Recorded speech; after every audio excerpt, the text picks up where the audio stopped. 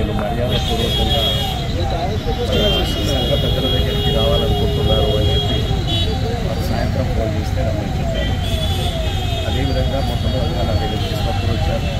ఆ తర్వాత ఆ తర్వాత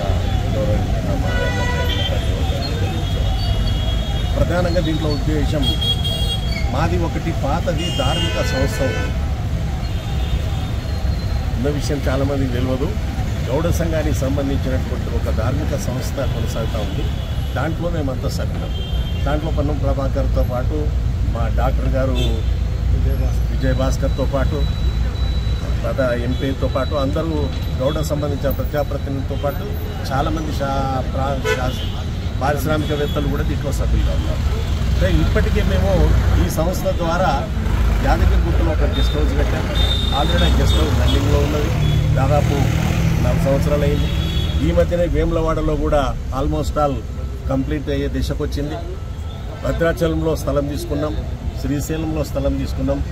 మా కులానికి సంబంధించి బీసీలకు సంబంధించి ఎవరైనా దేవాలయానికి వస్తే అక్కడ ఉండడం కోసం ఒక సంస్థలాగా ఏర్పాటై అందరము తలా ఒక రూపాయి వేసుకొని ఈ సంస్థను నడిపిస్తున్నాం. దాంట్లో పొన్నం ప్రభాకర్ కూడా మాకు సలహాదారుగా ఉన్నారు మా ఇంట్లో ఉన్నారు. ప్రభుత్వంలో ఎవరున్నా మా సంఘ పెద్దలందరం కూడా కలిసి అప్పుడప్పుడు ఈ దేవాలయాల దగ్గర ధార్మిక సంస్థలు గెస్ట్ హౌస్ కడితే అనుమతి కాబట్టి ఆ ఉద్దేశంతో వారి ముందు కలవడానికి వచ్చారు. దానికి హరిచరణ్ గారు ఆ సంస్థలో ఒక ట్రెజరర్ ఉన్నారు. ఈ విధంగా సంఘ పెద్దలు మా కాశీ ఉన్నాడు దాంట్లో. అనేక మంది దాంట్లో ఉన్నాం. ఎమ్మెల్యే ప్రకాష్ గౌడ్ గారు వారు ఆ, ఎమ్మెల్యే ఉన్నప్పుడు ఆ వారి పార్టీ అధికారంలో ఉన్నప్పుడు కూడా మాతో ఉన్నారు. పొన్నం ప్రభాకర్ గారు కాంగ్రెస్లో ఉన్నప్పుడు ప్రతిపక్షంలో ఉన్నప్పుడు మాతో ఉన్నారు. బీజేపీలో ఉన్నటువంటి గౌడ పెద్దలు మాతో ఉన్నారు. ఇట్లా అనేక మంది పెద్దల ముఖంతో ఆ సంస్థ ఆ ఉద్దేశంతో ఈరోజు మర్యాదగా కలవడం కోసం వచ్చారు.